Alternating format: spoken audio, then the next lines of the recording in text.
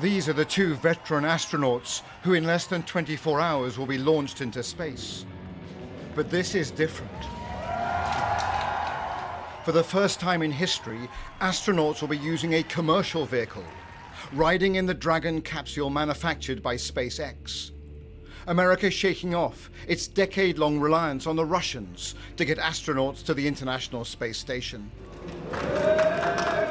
Colonels Bob Behnken and Doug Hurley have been rehearsing for this launch in recent days. Much is new, from their streamlined spacesuits to the fact that they are taken to the launch pad in a Tesla. Elon Musk is never one to miss a branding opportunity.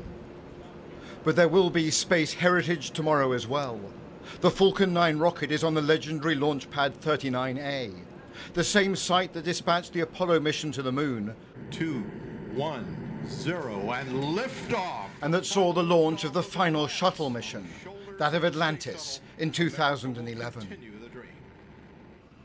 One unique challenge this time for the SpaceX and NASA team has been ensuring the crew does not take the coronavirus into space. We have been in quarantine probably longer than any other space uh, space crew has ever been in the history of the space program. For this experimental test flight, the astronauts insist they are ready.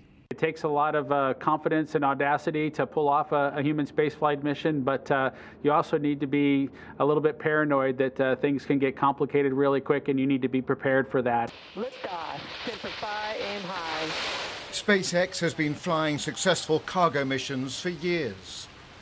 But the tension tomorrow will be of a different order, with American astronauts aboard and the pride and prestige of commercial spaceflight at stake.